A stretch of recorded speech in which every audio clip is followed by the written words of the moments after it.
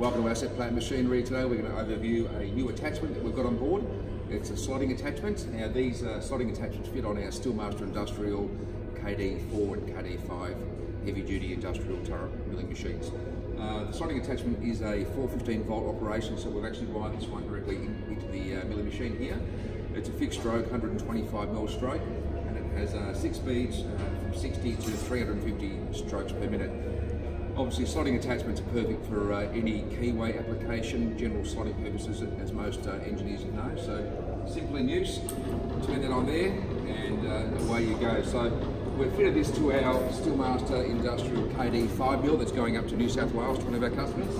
Uh, and uh, that has a three axis readout on this particular mill. But how the uh, slotting attachments work you come this way, um, being, being our KD 5 mill, we basically turn the whole head around. So on the back of our KD series mills, we have a, a rear knuckle and uh, that slotting attachment fits directly onto the knuckle of the, the back of the turret mill. So you can find these online at assetplant.com.au. Thanks and have a great day.